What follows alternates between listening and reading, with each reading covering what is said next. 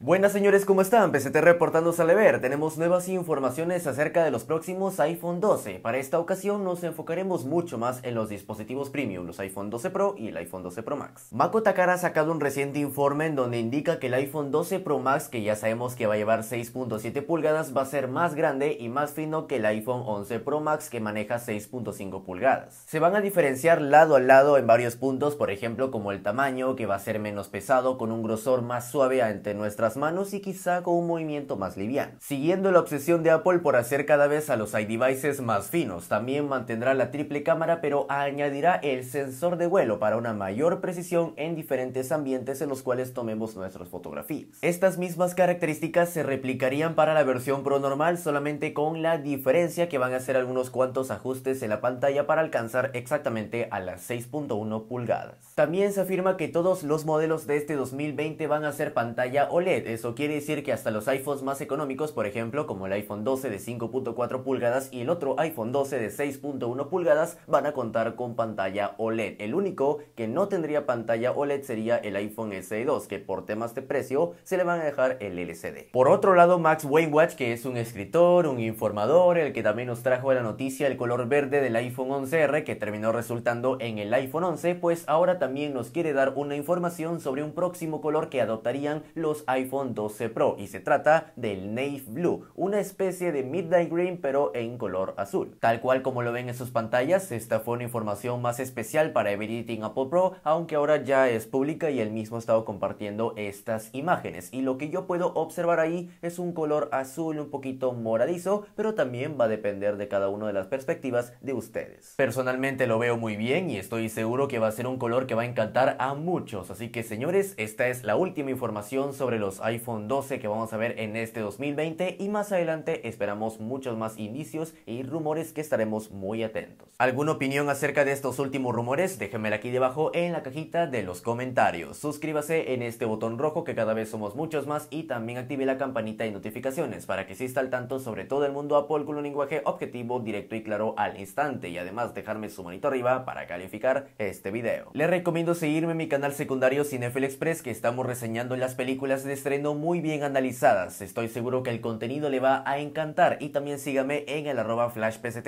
en Twitter. Eso ha sido todo por hoy, yo soy PCT. Nos vemos en la próxima.